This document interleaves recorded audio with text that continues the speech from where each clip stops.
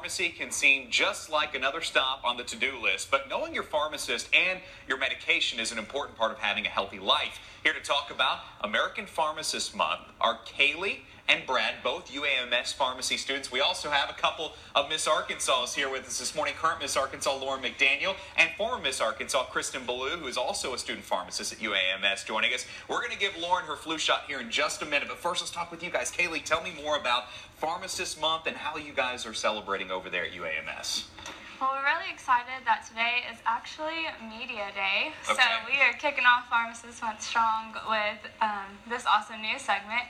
And we're also having a tweetathon today. So if you have a story that you would like to share that how your pharmacist has impacted you, you can hashtag pharmacist on Twitter for our global tweetathon. Wonderful. Take pictures. Um, I'm sure I'm, social media is such a big part of the lifestyle now here in our culture. So make sure you participate in that throughout the day, and you can share your pictures with so many others out there. Brad, tell us a little bit about why we should get to. We talk about dentists. Knowing your dentist is pretty easy. Knowing your uh, primary care physician pretty easy. But knowing your pharmacist also it holds just as much important because you guys deal with a lot of stuff that uh, people use on a daily basis, even. Yeah, so not just, you know, pharmacists are your medication experts, Yeah.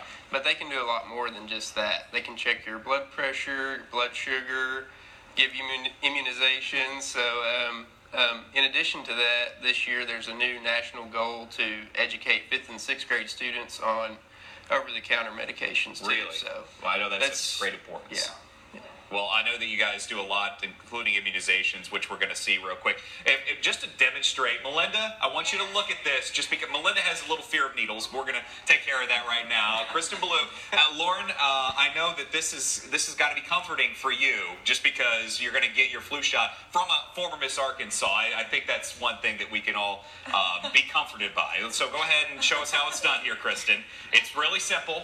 Just a very small, very easy shot to take. And, and parents out there, too, Kaley, I know that uh, they have to kind of convince the kids every now and then hey, it's going to be okay. Look how quick and easy this is, right? Totally. totally, yes. See, just like that, done. And, and now she's protected from the flu. Well, thank you guys again for coming in this morning. Of course, UAMS Pharmacy is uh, uh, an organization or you know a program that you can get involved with. If you want to go through the program, you can do so by going to uamshealth.com, calling the number on your screen, and celebrate American Pharmacist Month with all the fine folks over there at UAMS. And thank you guys for coming in this morning, starting off Media Day with us at Channel Seven. thank you. Thank you. And thank you guys again. Kristen, well done. Bravo. Round of applause for Kristen Belew, everybody. And Loren McDaniel, fresh back from Atlantic City. We're going to talk with Loren.